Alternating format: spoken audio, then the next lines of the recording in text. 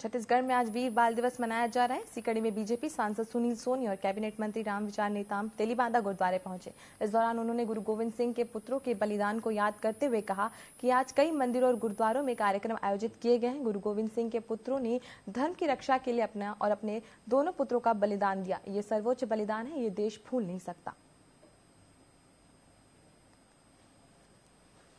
आज का दिन निश्चित ही हम सबको याद दिलाता है कि